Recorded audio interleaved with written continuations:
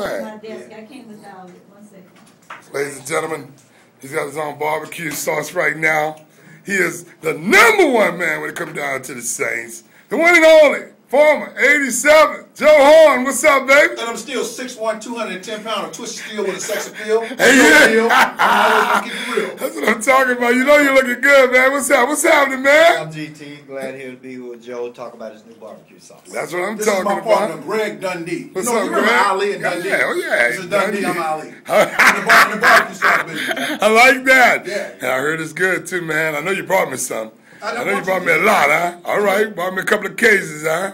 I'm gonna, I'm gonna take care of that. That's what I'm take care of talking about. Ain't no problem about. You know that. But look, right now, hey, the barbecue sauce is available here in New Orleans, huh? Yeah, all the Rouses, all the Winn Dixies, you can find the barbecue sauce. Soon we're, we're trying to be in all the stores around New Orleans. That's why I'm here. I'm doing promos, and it's a good thing. Get to meet the fans. Come on out to the Winn Dixie and the Rouses. Meet Joe Horn and get that Bayou 87 barbecue sauce. If you're not, JoeHornBBQ.com. hey, we about to talk on the radio. Joe Horn in the What building. about the charity part, Joe? Oh, okay. Absolutely. We donate a portion, every bottle that's sold, a portion goes to a charity that we chose. We chose the Women's Shelter for the first two quarters.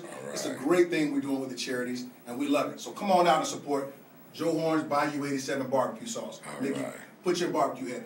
That's what I'm talking about. Just in time, too, for the 4th of July weekend. In essence, and now we're going to be sending people out of town, Joe, with your sauce. Yeah. Sadie Berry, we're about to talk on the radio to Joe Horn, 98.5.